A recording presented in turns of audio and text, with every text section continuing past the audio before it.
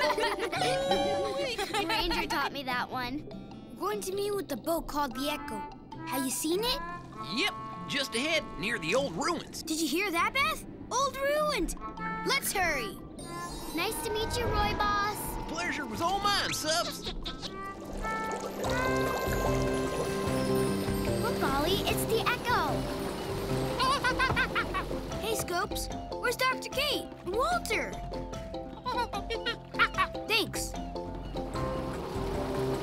Dive.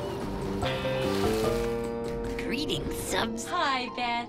Hi, Olly. Hey, Dr. Kate. Hi, Walt. So, what kind of old ruins are here, Dr. Kate? A palace? A golden city? Fish traps. Fish traps? That's right.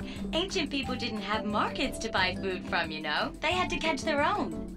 This rock wall fish trap is actually an amazing example of simple technology. Technology? Oops, sorry. Isn't technology computers and stuff? Technology is any tool that gets a job done. Computers, hammers, jet boosters, and this fish trap. How does it work, Dr. Kate?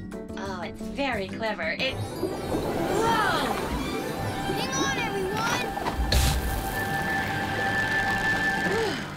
A strong current. It's probably one reason this trap was built right here.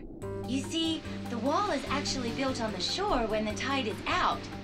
When the tide comes in, fish come over the walls with the water.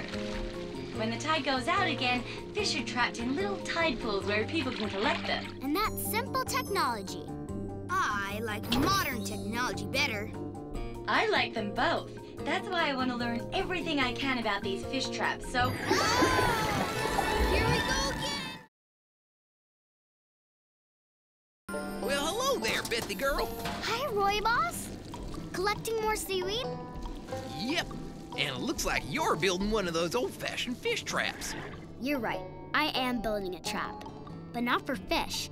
I want to catch a computer. Computer? I didn't know those grew around here.